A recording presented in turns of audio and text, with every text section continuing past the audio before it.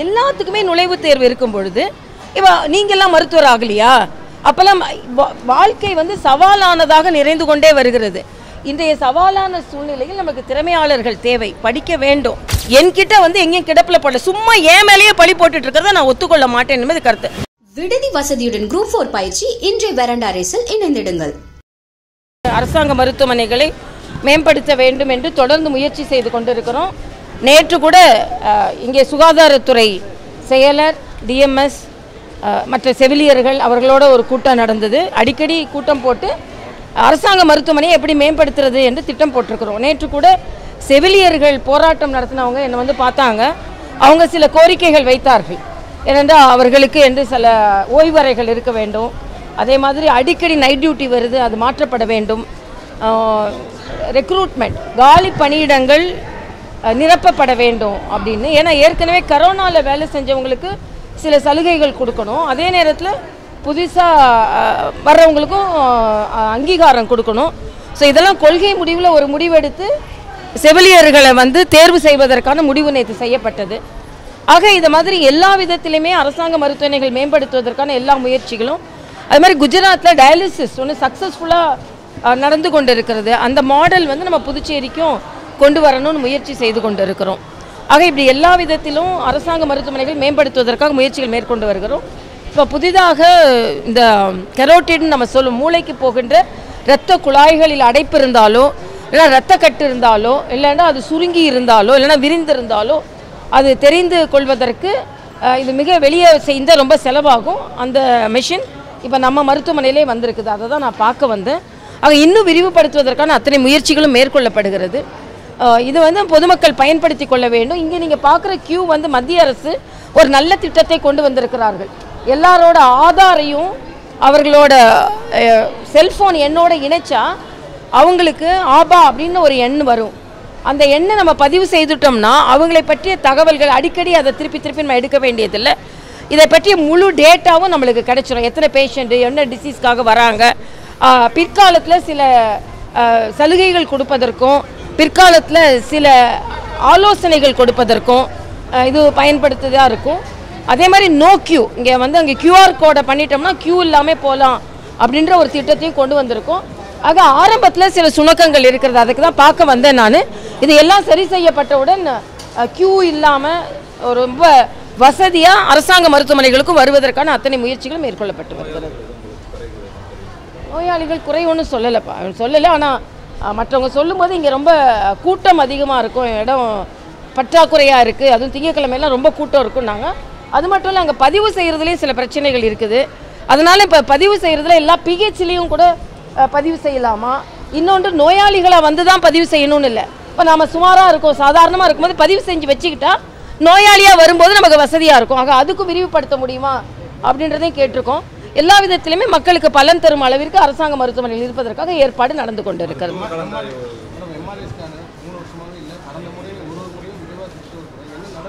இல்லை. எல்லாம் அதுக்கு வந்து நேற்றே நாங்கள் கூட்டத்தில் முடிக்க MRI PET scan CT scan இதெல்லாம் போடுறதுக்கு இங்கேயும் சரி காரைக்காலும் போடுறதுக்கு சரி எல்லா முயற்சிகளும் மேற்கொள்ளப்படுகிறது. பட் நாங்கள் வந்து அதற்கு ஆர்டர் கொடுக்கணும். அதற்கான நடவடிக்கைகள் மேற்கொள்ளப்படணும். அதோட நடவடிக்கைகள் ஆரம்பிச்சிருச்சு. அதனால் வெகு விரைவில் நமக்கு எல்லா இன்வெஸ்டிகேஷன்ஸும் வச்சு எது? எது? இல்லை முயற்சி எடுத்துக்கொண்டு இருக்கிறோம் அதில் சில சில தகவல்களை கேட்டிருந்தாங்க அவங்க. எத்தனை பேர் பலன் பெறுவாங்க? இதற்கு மேலே எத்தனை பேர் எழுதியிருக்காங்க? அது மாதிரி நிறைய தகவல்கள் கேட்டிருந்தாங்க. அந்த தகவல்களெல்லாம் நம்ம திருப்பி அனுப்பி இருக்கிறோம் ஆஹ் அதெல்லாம் அவங்க அலசி ஆராய்ந்துட்டு எந்தெந்த மாநிலத்தில் எது எது பலன் தரதாக இருக்குன்றது முடிவு பண்ணி அவங்க சொல்லுவாங்க. பட் நம்ம வகையில் நான் என்னோட வழியில் என்னென்ன வகையில் அனுப்பணுமோ அது எல்லாம் அனுப்பிச்சாச்சு. இல்லை எதுவுமே தாமதப்படுத்தப்படாது. இந்த வருடத்திற்குள்ளே கிடைப்பதற்கான அத்தனை முயற்சிகளும் நம்ம மேற்கொள்ள மேற்கொண்டு வருகிறோம். ஆனால் இதில் குற்றம் சொல்வதற்கு ஒன்றுமே இல்லை. ஏன்னா நம்ம முயற்சி செய்கிறோம். ஒரு நடைமுறை நடை இதற்கு முன்னால் உள்ள துணைநிலை ஆளுநர் இது வேண்டான்னு எழுதும்போது சில கடுமையான சில வழிமுறைகளை எழுதிட்டாங்க. ஸோ அது இல்லை என்பது அதை ரிலாக்ஸ் பண்ணுறதுக்கு அதெல்லாம் நம்ம எழுதுறதுக்கு கொஞ்சம் காலதாமதமாகுது. அவ்வளவுதான். மற்றபடி நம்ம கிடைக்கும் கிடைப்பதற்கான அதிக வாய்ப்பு இருக்கிறது. இந்த வருஷத்துக்குள்ளே கிடைக்கணும் அப்படின்றதுக்காக தான் நாங்கள் முயற்சி செய்து கொண்டு இருக்கிறோம் மேடம் நீட் தேர்வு விவகாரத்தில் தமிழக ஆளுநரும் அஹ், நீங்களும் வந்து மா- மாணவர்களுக்கு எதிராகவே செயல்படுறீங்க அப்படின்னு சொல்லிட்டு நாராயணத்துலாம் ஒரு அமைச்சர் குற்றம் சாட்டி இல்லை இதில் முன்னாள் முதலமைச்சர் நாராயணசாமி சொல்கிறதுக்கெல்லாம் நான் பதில் சொல்ல வேண்டாம்னு நினச்சேன். ஆனால் நான் ஒரு மருத்துவர். நான் தனியார் மருத்துவக் கல்லூரிலையும் பணியாற்றியிருக்கேன். நான் அரசாங்க மருத்துவக் கல்லூரியில் படித்தவள். ஆக நீட் எவ்வளவு தேவை என்பதை எங்களை போன்ற மருத்துவர்களுக்கு முதல் தெரியும் மற்றவங்கள விட. ஒன்று. இன்னொன்று இன்னொன்று சாதாரணமாக நீட் போன்ற தேர்வுகள் இல்லாத போது ஒருத்தர் பெரிய மருத்துவமனை அப்பா அம்மா கட்டியிருக்காங்க. பையன் படிக்கவே இஷ்டம் இல்லை அவன் படிக்கவும் மாட்டான். அவங்கள கொண்டு சேர்த்துட்டு தனியார் மருத்துவக் கல்லூரிலாம் எவ்வளோ கஷ்டப்பட்டோம்னு எனக்கு தெரியும். ஆக என்று எல்லாத்துக்குமே நுழைவுத் தேர்வு இருக்கும் பொழுது இப்போ நீங்கள்லாம் மருத்துவர் ஆகலையா? அப்போல்லாம் வா- வாழ்க்கை வந்து சவாலானதாக நிறைந்து கொண்டே வருகிறது. இன்றைய சவாலான சூழ்நிலையில் நமக்கு திறமையாளர்கள் தேவை படிக்க வேண்டும். அதனால் இன்றைக்கி எல்லாத்தோட எனக்கு வருத்தம் என்னென்னா மெட்ராஸ் மெடிக்கல் காலேஜில் நான் நான்கு வருடங்களுக்கு முன்னால் என்னால் படிக்க முடியலன்னு அனட்டாமி லேபில் போய் படிக்க முடியலன்னு ஒரு தம்பி தற்கொலை பண்ணிக்கிட்டார். ஆக நம்ம மருத்துவம் சேர்ந்து மருத்துவம் என்னால் படிக்க முடியலன்னு தற்கொலை பண்ணிக்கிட்டாரு. ஆக அது மாதிரி சூழ்நிலையெல்லாம் கூட இருந்திருக்குது. அதனால் என்னை பொறுத்த வரைக்கும் யாரும் தற்கொலை முடிவுக்கு வரக்கூடாது முதல்ல. இன்னொன்று மருத்துவத்துறையிலேயே வேறு வேறு துறை இருக்கிறது. டாக்டர் ஆக முடியலன்னா கூட இன்னொன்று நீட் வந்து மூன்று முறைக்கு மேலே நமக்கு வாய்ப்புகள் கொடுக்கறது. விஜயகுமார்னு ஒரு தம்பியை நான் பார்த்தேன். அவர் வந்து காவல் படையில் பணியாற்றி கொண்டு இருக்கிறார் காவல் படையில் பணியாற்றி கொண்டு இன்னொன்று ஒரு தவறான கருத்து. அவங்க வந்து கோச்சிங் சென்டருக்கு போனால் மட்டும்தான் மார்க் வாங்க முடிகிறது என்று ஒரு தவறான கருத்து. அப்படி பார்த்தா ப்ளஸ் டூவில் மார்க் வாங்குறதுக்கு டியூஷன் வச்சுக்கிறாங்க எல்லாம் பண்ணிக்கிறாங்க. ஆக இது ஒரு நல்ல ஒரு திட்டம் தவறாக முன்னிறுத்தப்படுகிறது என்பதுதான் என்னை போன்றவர்களுக்கு வருத்தம். அதனால் நீங்கள் மாணவர்களுக்கு எதிர்னு நினைக்கிறது நாங்கள் மாணவர்களுக்கு ஆதரவுன்னு சொல்கிறோம் ஆக நீங்கள் சர்டிஃபை பண்றதுதான் சரின்னு நான் சொல்லலை. நாங்கள் மாணவர்களுக்கு ஆதரவாக பேசுகிறோம் நாங்கள் சொல்கிறோம் நீங்கள் தான் மாணவர்களுக்கு எதிராக பேசுகிறோம் நான் சொல்கிறேன் ஏன்னா எல்லாரும் படிக்க ஆரம்பித்து அந்த நடைமுறையை பின்பற்ற ஆரம்பித்து தமிழகத்தை சார்ந்தவர்களெல்லாம் அதிக மதிப்பெண்கள் வாங்க ஆரம்பித்த பின்பு மறுபடியும் நீட்டு மேலே ஒரு அவநம்பிக்கையை நீங்கள் ஏற்படுத்தாதீர்கள் என்பது தான் ஏன்னா இது உச்சநீதிமன்றத்தோட தீர்ப்பு. உங்களாலே சட்ட ரீதியாக ஒன்றும் செய்ய முடியாது. மரியாதைக்குரிய சிதம்பரம் அவர்களின் மனைவி தான் இதை போட்டு அதற்கான எல்லாம் கொண்டு வந்தாங்க. இன்னைக்கு உங்கள் கூட்டணியிலே இருக்கும்போது நீங்கள் அதை கூட கேட்டிருக்கலாம். நீங்கள் இவ்வளோ எதிர்ப்பாக சொல்கிறீங்களே நீங்கள் ஆதரவாக ஏன் அப்பியர் ஆகுறீங்க அப்படின்னு. ஆக எல்லா விதத்திலும் தவறு ஒரு பக்கம் இருந்துவிட்டு பழியை எங்கள் மீது போடுவது தான் தவறு என்பது எனது கருத்து. நான் மருத்துவராக சொல்கிறேன் மற்றவர்களை பற்றி நான் சொல்லலை. மருத்துவரா இங்கே உள்ள மருத்துவர்கள் எல்லோரும் ஒத்துக்கொள்வார்கள். மருத்துவரா இந்த மருத்துவ கல்விக்கு இந்த தேர்வு தேவை என்பது எனது தாழ்மையான கருத்து. நான் மருத்துவ மாணவியாக மட்டும் இல்லை மருத்துவ பேராசிரியராகவும் இருந்திருக்கிறேன். அதனால நான் தப்புனா தப்புன்னு சொல்வேன் ரைட்டுனா ரைட்டுன்னு சொல்வேன். அதனால் முத இதை ஆலோசி ஆராய்ங்க. எத்தனை பேருக்கு கிடைச்சிருக்கு? எத்தனை பேர் கோச்சிங் சென்டர் போனாங்க? கோச்சிங் சென்டர் போகாமல் இதுக்கு முன்னால் எத்தனை பேருக்கு கிடைத்தது? இதில் முன்னால் இன்னைக்கு தருமபுரி அரியலூர் போன்ற மாவட்டங்கள்லாம் பின்தங்கிய மாவட்டங்களிலிருந்து கூட மாணவர்களுக்கு கிடைக்க ஆரம்பித்திருக்கிறது. இன்னொன்று ஏழு புள்ளி ஐந்து சதவீதம் நமக்கு உதவி செய்கிறது. அதனால தான் புதுவையில் நாம் கேட்குறோம். இதற்கு முன்னால் உள்ள அரசாங்கங்கள் இதை முயற்சி செய்திருக்கலாம் முயற்சி செய்யலை. ஆனால் நம்ம அதை முயற்சி செய்து கொண்டு இருக்கிறோம் ஆனால் இதை வந்து மாணவர்களுக்கு எதிராக பேசுவது என்பதை நான் ஒப்புக்கொள்ள மாட்டேன். வருங்கால சமூகத்திற்கு இது தேவை.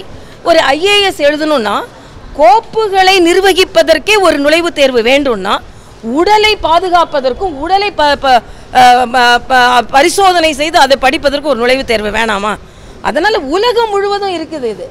ஆக நாம் எப்போவுமே ஒரு முயற்சி எடுத்தால் ஒரு முன்னேற்றம் வந்தால் அதை ஏற்றுக்கொண்டு மாணவ சமுதாயங்களுக்கு நான் மறுபடியும் மறுபடியும் சொல்கிறேன் தயவு செய்து அவநம்பிக்கை கொடுக்காதுங்க. நீட்டை எடுக்க முடியாதுன்னு தெரிஞ்சு நான் எடுப்பேன்னு ஏன் சொன்னீங்க? அப்போ மாணவர்கள் என்ன நினைப்பாங்க? ஓ நீட்டை விளக்கிடுவாங்க போல இருக்கு. நம்ம படிக்க வேண்டாம்னு நினைப்பாங்க. முடியாதில்ல. முடியல இல்லை ரெண்டரை வருஷம் ஆச்சு முடியலல்ல. அப்போ ஏன் அதை சொன்னீங்க? இப்போ கேள்வி நாங்கள் கேட்கணும். ஆனால் அவங்க என்னமோ எங்கள் மேலே பழி போட்டுக்கிட்டு இருக்காங்க. நான் மாணவ செல்வங்களோடு உடன் இருக்கிறேன் என்பதைத்தான் நான் தெளிவுபடுத்துகிறேன். எனக்கு தெரிந்து மிக எளிமையானவர்கள் நீற்றினால் பலனடைந்திருக்கிறார்கள் என்பதுதான் எனது கருத்து. எது? இல்லை எதுவுமே முடக்கப்படலை. எல்லாமே நடைமுறைப்படுத்தப்பட்டு கொண்டு தான் இருக்கிறது. அது இல்லை இல்லை வந்து செயல்படுத்தி கொண்டு இருக்கிறது என்னென்ன கோப்புகள் வந்து எல்லாம் கிளியர் ஆகிட்டு தான் இருக்குது இதெல்லாம் சும்மா ஆதாரம் இல்லாமல் சொல்கிற குற்றச்சாட்டுப்பா. இல்லை அதெல்லாம் இல்லை. இல்லை இல்லை அதுக்குன்னு அதாவது மொதல் பதினேழாயிரம் பேருக்கு அதுக்குள்ளே கோப்புகள் தயாராகி ரெடி ஆயிடுச்சு. அதுக்கப்புறம் எழுபதாயிரம் பேர். ஸோ அதுக்கான நிதி நிலை அது எல்லாம் செய்து அதனால் முதல்ல கொடுக்க வேண்டியவங்களுக்கு கொடுத்தாச்சு. ரெண்டாவதுக்கு மேம்படுத்தப்பட்ட திட்டம். நீங்கள் ரெண்டரை வருஷம் அஹ், அறிவிச்சுட்டு தமிழ்நாட்டில் கொடுக்கவே இல்லை. அப்புறம் கொஞ்சம் சுருக்குனாங்க. அப்புறம் இன்னைக்கு மூணு நாள் முகாம்னு வைக்கிறாங்க. ஆக நாம் அப்படி கஷ்டப்படுத்தவே இல்லை பெண்களை. நீங்கள் இதுக்கு வாங்க அதுக்கு வாங்க அதை சரி பண்ணுங்கள் இது சரி ஓ கொடுக்குறதே கொடுக்குறோம். ஆனால் இதெல்லாம் கொடுக்குற மாதிரி ஒரு இதெல்லாம் செஞ்சுட்டு தான் கொடுக்குறாங்க. நாம் அப்படி இல்லை. நாம் பாட்டுக்கு அந்தந்த எம்எல்ஏ லிஸ்ட்டு கேட்டோம். அது கொடுக்கறதுக்கான எல்லா ஏற்பாடும் செய்து கொண்டு இருக்கிறோம். அதனால் மக்களுக்கு கிடைப்பது நிச்சயமாக கிடைக்கும். இது எதிர்க்கட்சிகள் சொல்கிற குற்றச்சாட்டை வந்து நம்ம அதே தான் எடுத்துக்க வேண்டும் இல்லை. ஆனால் என்ன பொறுத்த மட்டும் ஏதோ தமிழிசை மக்களுக்கு எதிரானனா புதுச்சேரி மக்களுக்கு ஒவ்வொரு நிமிடமும் எப்படி பணியாற்றுவது பயனாக இருப்பது என்பதை தான் நான் சிந்தித்து வருகிறேன். இதில் எந்த சுயநலமும் கிடையாது. நான் அதே மாதிரி அண்ணன் நாராயணசாமி சொல்கிறார் தெலுங்கானாவுக்கு நான் போவே இல்லை அப்படின்னு சொல்லிட்டு. நான் தெலுங்கானாவுக்கும் போயிட்டு தான் வராங்க மழை வெள்ளம் வந்தது. சிஎம் கூட போகலை. நான் தான் போய் எல்லா இடத்தையும் பார்த்தேன். என்னோடய ட்விட்டரை பார்த்தாலே தெரியும். நான் எத்தனை நாள் தெலுங்கானாவில் இருக்கேன் எத்தனை நாள் புதுச்சேரியில் இருக்கேன்னு. எதையுமே தெரியாமல் பேசிக்கிட்டே இருக்காங்க அவ்வளோதான் வேற ஒன்றும் இல்லை. பா மாநில அந்தஸ்து அவங்க இதுக்கு முன்னால் இருந்தாங்கல்ல? இதுக்கு முன்னால் எவ்வளோ வருஷம்? நான் ஒரே ஒரு கேள்வி கேட்குறேன். இதுக்கு முன்னால் எத்தனை வருஷம் நீங்கள் ஆட்சியில் இருந்தீங்க? மத்தியிலையும் உங்கள் ஆட்சி இருந்தது இங்கேயும் உங்கள் ஆட்சி இருந்ததுல. ஏன் வாங்கலை? இதுக்கு முன்னால் உள்ள கோப்பை கூட நீங்கள் டிரான்ஸ்லேட் பண்ணி அனுப்புங்கன்னு சொன்னது இந்த அரசாங்கம் டிரான்ஸ்லேட் பண்ணி அனுப்பலை. இதுக்கு முந்தைய அரசாங்கம். இவங்க தமிழில் அனுப்புனதை டிரான்ஸ்லேட் பண்ணி அனுப்புங்கன்னு சொன்னதை கடப்பில் போட்டாங்க. ஆக நீங்கள் எந்த அளவுக்கு முயற்சி செய்யணுமோ நீங்கள் இது வரைக்கும் ஆட்சியே செய்யாத மாதிரியும் இனிமே ஆட்சிக்கு வந்து தான் செய்யணும் முறை இது வரைக்கும் இந்த இருந்த போது என்ன செஞ்சீங்க? நான் திராவிட முன்னேற்ற கழகத்தை சார்ந்தவர்களே கேட்குறேன் கூட்டணியில் மேலே இருந்தீங்கல்ல இங்கேயும் கூட்டணியில் இருந்தீங்கல்ல என்ன செஞ்சீங்க? நான் நாங்கள் முயற்சி எடுத்து கொண்டிருக்கிறோம். என்னோட தப்பான ஒரு கருத்தை சொல்கிறாங்க அது சிவாவாக இருக்கட்டும் நம்ம காரைக்கால் எம்எல்ஏவாக இருக்கட்டும் புதுச்சேரி ஆளுநர் மாளிகையில் கடப்பில் போட்டாங்க. நான் மறுபடியும் மறுபடியும் சொல்கிறேன் இருபத்தி ரெண்டாம் தேதி என்கிட்ட கோப்பு வந்தது இருபத்தி மூணாம் தேதி நான் அனுப்பிட்டேன். ஆனால் ரெண்டு மாதம் என்கிட்ட வரல. தான் நான் சொல்ல முடியும். என்கிட்ட வந்து எங்கேயும் கிடப்பில் போடல. சும்மா ஏன் மேலேயே பழி போட்டுட்டு இருக்கிறத நான் ஒத்துக்கொள்ள மாட்டேன். என்பது கருத்து. எல்லா சகோதரத்துவத்தோட தான் இருக்கணும்னு நினைக்கிறேன். விருந்துக்கு கூப்பிட்டது மகிழ்ச்சியாக தான் கூப்பிட்டேன். உடனே உங்கள் கூட தட்டேந்திரதுக்கு நான் வரணுமா? நான் சாப்பிட்றதுக்கு வரணுமாலாம் ட்விட்டரில் போடுறாங்க. தயவு செய்து எதிர்மறை கருத்துக்களை இப்படி பரப்ப வேணாம். எல்லாரும் மகிழ்ச்சியாக நட்புணர்வோடு புதுவையை நம்ம மேம்படுத்துவோம். அதான் என்னோட கருத்து. அரசியல் ரீதியான கருத்து தொடர்ச்சியாக தெரிவிச்சிருக்கீங்க. அப்படி நான் அரசியல் ரீதியா இல்லை நான் நாட்டில் நடந்ததை சொல்லணும் இல்லையா? இப்போ மரியாதைக்குரிய ஜெயலலிதா அவர்கள் தாக்கப்பட்டார்கள். தாக்கப்படலைன்னு சொல்றாங்க. நான் தமிழ்நாட்டில் வளர்ந்தவன் எங்க அப்பா அரசியலில் இருக்கும்போது எங்க அப்பா கை உடைஞ்சது. ஆக பட்டவர்த்தனமா ஒரு பொய் சமூகத்தில் சொல்லும்போது அதை நான் சொல்ல வேணுமா வேண்டாமா? அது அரசியல் இல்லை. அது அவசியம் நான் நினைக்கிறேன். அவ்வளவுதான்.